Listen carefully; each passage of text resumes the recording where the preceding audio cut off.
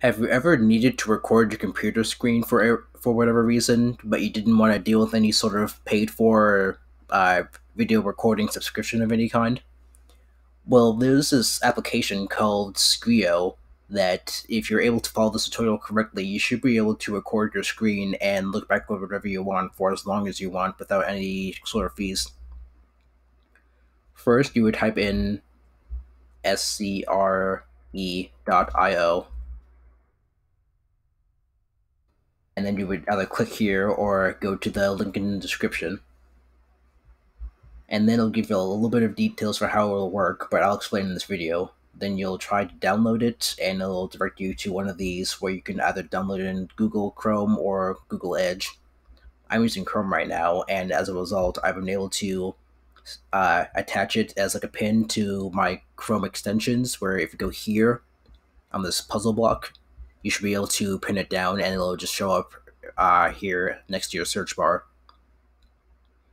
And then when you go into the application, and also just be aware there might be some cuts from here on because I think if you try to like record your screen again while you're already recording it, like I am doing with the application right now, it might cause some hiccups, so just be aware of that.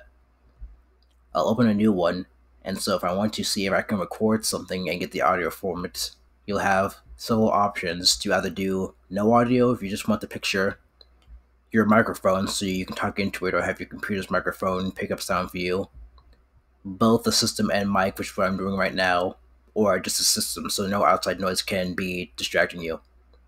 So I'll go with just a system so we can get a clear sound, and then I'll try to start recording. And then you can either do your entire screen, like I'm doing right now, a certain application window, so like either these three tabs in general or just one single Chrome tab. I'm going to do one tab and go to this one YouTube video that I made. And we're going to try to record it for a couple seconds and see what we can get played back.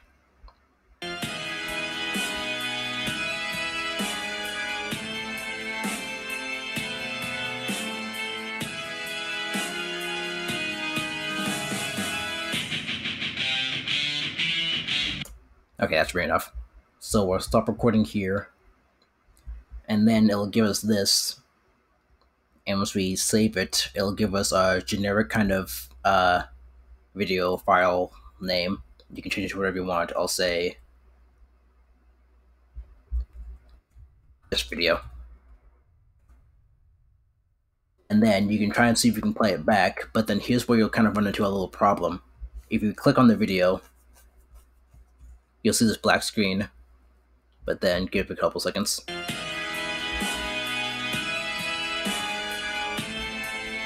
As you can see, we're getting the audio from what I just recorded, but we're not getting the picture, which is a little weird.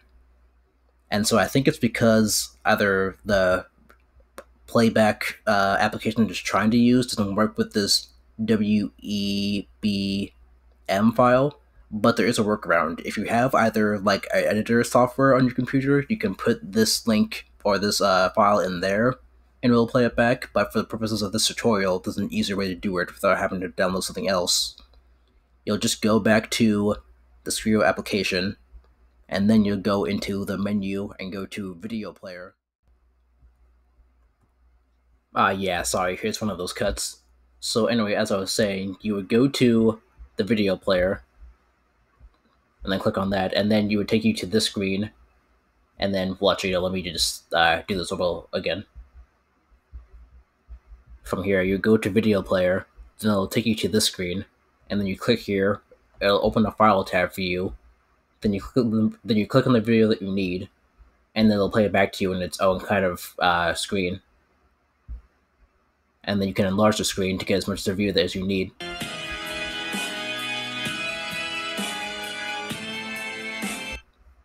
And that's about the sum of how this application works. Sorry, needed one more cut there.